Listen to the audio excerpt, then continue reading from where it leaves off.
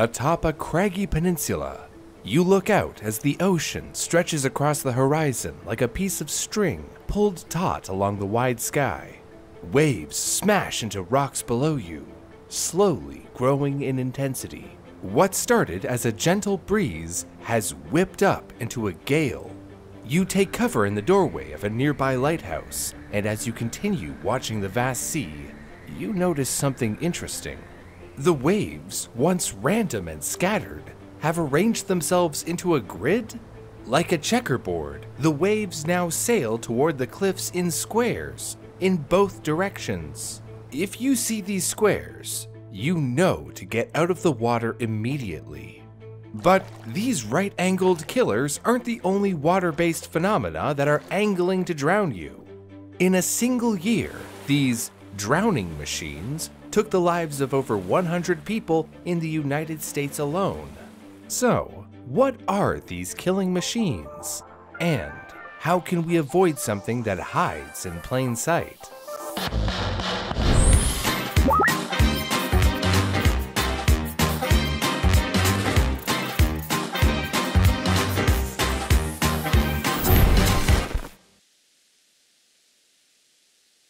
Let's get into it. Today's episode is sponsored by Raid Shadow Legends. Goodbye 90s technology, because these days it's easy to fit AAA level games right in your pocket. With Raid Shadow Legends, I can get my hardcore gaming buzz wherever and whenever I want. I love all of Raid's champions, but my favorite right now has to be Tatura Rimehide. From his killer wings to giant horns, he looks like he could get me through the Doom Tower while freezing any enemy that attacks him. My favorite part is the PvP. There's something just so satisfying about kicking strangers' butts in the arena. There's also dungeons featuring strong bosses you have to use strategy to defeat. With special events every single day on the Path of Light this summer, you'll be able to explore three branching paths with unique rewards to choose from. There are some sick new champions on the way, and completely new sets of skins. Get your hands on Deliana, a brand new champion from the High Elves through the special Deliana Chase event. All you gotta do is log in, play Raid for 7 days between now and July 20th, and you get Deliana for free. Enter promo code MyDeliana and you can get 50 XP brews to max her out all the way to level 50. Hit the link in the description to get a free champion, Vergis, as well as 200,000 silver, an XP boost, an energy refill, and an ancient shard. So get summoning. Find me in game under the name Brew Solves. If you're fast, maybe you can join my clan. Click the link in the description and I'll see you in Raid Shadow Legends. It's not often we see straight lines in nature, so when we do, it's even more unnerving. If you saw the recently discovered Martian doorway, you know just how spooky uniformity can be. Seeing the fabled square waves of Ile de Ré is a sight to behold. It's like a giant chessboard made out of moving water. Isn't that wild? Okay, so technically they're not called square waves, but cross waves or cross seas. These waves party way too hard to be square. Cross waves are two opposing swells that intersect each other at near 90 degree angles. A swell is a term for a series of waves created by distant weather systems. When storm systems cause disturbances in the ocean, those disturbances ripple across the ocean as swells. These storm systems need to be large though. A gentle breeze rolling across a beach in Miami isn't enough to make a swell. Whenever the ocean does something unusual, it's almost always a bad sign. In this case, cross waves are a phenomena that makes sailors nervous. In hard sea conditions, ships have to travel perpendicular to waves at a slow speed. If a large swell hits a ship from the side, it's much more likely to tip over and capsize. With cross waves, they come at you from both sides. It's hard to go straight into something that comes at you from two directions. But what happens when cross seas are closer to shore, at beaches? Multiple videos show cross waves on shores near places like Tel Aviv and Ile de Ré, just off the French coast. Could you swim in these? While the most dangerous thing about this wave formation concerns ships at sea, cross waves are still a danger to unassuming swimmers. When a ship capsizes, it's a disaster. When a human capsizes, it's embarrassing, but being knocked over by a stray wave won't kill you. These cross waves are still dangerous though, and if you see them, you should get out of the water immediately. Look, I don't need an excuse to not be in the ocean, but square waves can be killer to even experienced endurance swimmers. Just remember, when waves be square, riptides beware. The National Weather Service in the United States, to illustrate the dangers of riptides, have collected stories from survivors. In August of her 13th year, Emily, her cousin, aunt, and uncle all piled into the car one Sunday, headed for the beach. After settling in the beach house they were staying in, the four of them strolled across the street and decided to head into the water. The family moved further and further out into the wake. The waves were small, and under the hot summer sun, the family flourished in the gentle tilt and fro of the warm, clear water. Suddenly, the ground disappeared beneath Emily's feet. She looked around in panic when she heard her aunt utter four words that still haunt her to this day Can anyone else touch? Over the course of the last 45 minutes, the imperceptible riptide had slowly been pulling them further and further out to sea. The sandbar, once their anchor to the land, was now just out of reach. They all started to panic. The waves, taller and stronger now, crashed against them, yanking them further out to sea. Emily's aunt and uncle shouted for help, but no one on the shore seemed to notice. Emily dove under the water to see if she could push herself close to the rapidly vanishing floor of the ocean. But still, the riptide dragged her backward.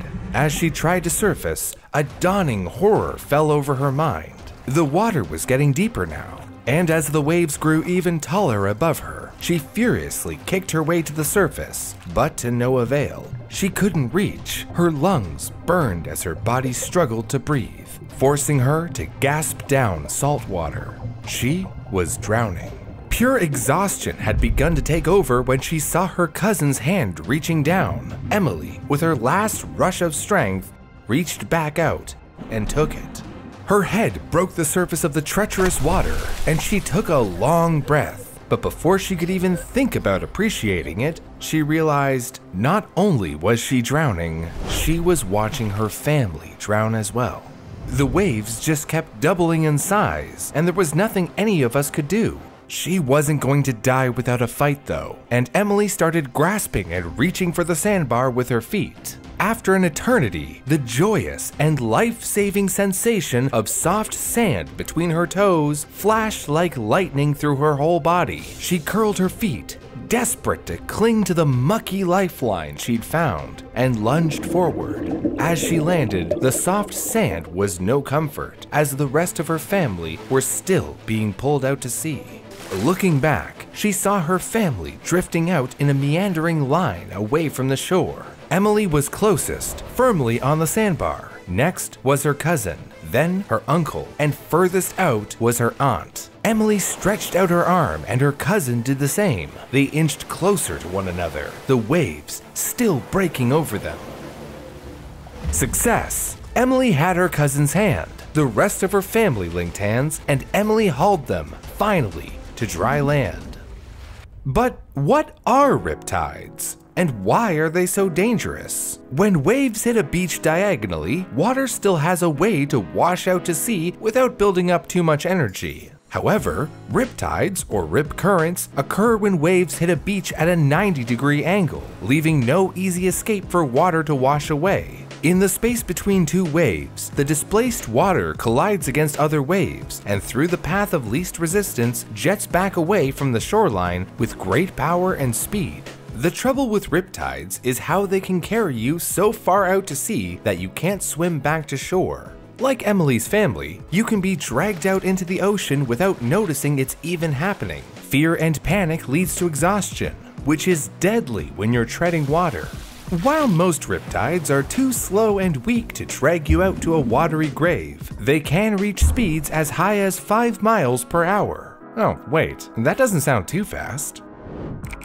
Ah, okay, never mind. The most decorated Olympian swimmer, Michael Phelps, clocked a top speed of 4.7 miles per hour, and that was only 200 meters. The best way to keep yourself safe, like most things, is avoidance. On many patrolled beaches, local lifeguards or authorities will post colored flags to indicate specific hazards and other information. Depending on your area, a green flag can indicate a beach is safe to swim, but a red flag indicates weather or water conditions are dangerous and the beach is closed. There are other flags that indicate other things, which you can see on screen now through the power of technology. However, the absence of flags does not mean the water is perfectly safe. In terms of visually identifying riptides, there are a couple signals to watch out for. If you see gaps between waves breaking on the beach, that's a surefire signal of a riptide. You'll also notice that riptides are discolored, since the high velocity of the stream kicks up sand and other particulate debris. Checking your local weather service, like the American National Weather Service's surf forecast, can inform you on beach conditions before you even get there. It's also beneficial to swim near lifeguard stations on patrolled beaches, so if anything goes wrong, they can go all Baywatch on you. And you can ask them about swimming conditions before you go in as well. Over 100 people in the United States lose their lives every year to riptides. But they're not the only waterborne killers around. These drowning machines between 2019 and 2020 took the lives of 111 people in the US alone and continue to do so as we speak. An 11 year old boy in Spring Grove, Pennsylvania was swept under the water of a Lowhead Dam. There was no record of the dam being there, and when first responders arrived on the site, the boy, Peyton Gonzalez, was already unresponsive. He was transported to Wellspan York Hospital, where medical staff were unable to resuscitate him. The Spring Grove Dam is what engineers call a low-head dam, or a weir. These concrete dams do the very basics of what dams are meant to do. They usually span small rivers, and were most often used to create small reservoirs for water-powered mills and factories in the time before widespread electrification. Back then, at the height of these dams' construction in the 19th century, the most consistent source of power was water, the problem is, while many of the factories and mills that use these dams have long since been closed or relocated, you can't just move a dam. Property owners are then forced to maintain these dams with no purpose. Unfortunately, it's all the more common for these dams to be abandoned, doomed to a geriatric life as a remnant of a dead past. You may think that the danger of these dams is from overflow or breaching, but that's not the case. Since these dams are generally pretty short and don't contain a ton of water, a breach will mess up your basement but won't cause massive flooding to destroy a town. However, these dams do present a public safety threat that has caused more fatalities in the US than all dam failures and accidents in the last 20 years. You're swimming upstream from a low-head dam, a thing you should never do. The water is calm and moves around you slowly, such that you can kick waves here and there. You realize you're being pulled toward the edge of the dam, so you start swimming away, but to no avail, and you tip over the side. As you're carried over the edge of the dam, the water moves quickly, like a waterfall, you can see the difference between types of flowing water in your sink. When you turn on a tap and the water hits the bottom of the sink, the water moves very quickly at first, supercritical, then slows down in the shape of a ring, subcritical. The problem with low-head dams is a little thing called hydraulic jump. When fast-moving water hits slow-moving water, it generates a jump in the flow. However, when the slow-moving water is high enough, this jump can become submerged, creating a vortex called a keeper, because it keeps you underwater. So it can murder you. Fast moving water coming down the dam hits the bottom of the stream and flows upward. Then, since it's submerged, it's redirected back toward the dam, where the fast moving water pushes it back down again, creating a churning vortex. Sometimes the upward moving jet of water breaks the surface, creating a boil point. You can recognize this because it looks like boiling water from above. If you see water moving as if it's boiling, do not go in. These kinds of hydraulic jumps exist in a lot of large rapids, and any whitewater kayaker will be able to tell you all about how dangerous they are, and how fun it can be to surf on top of them.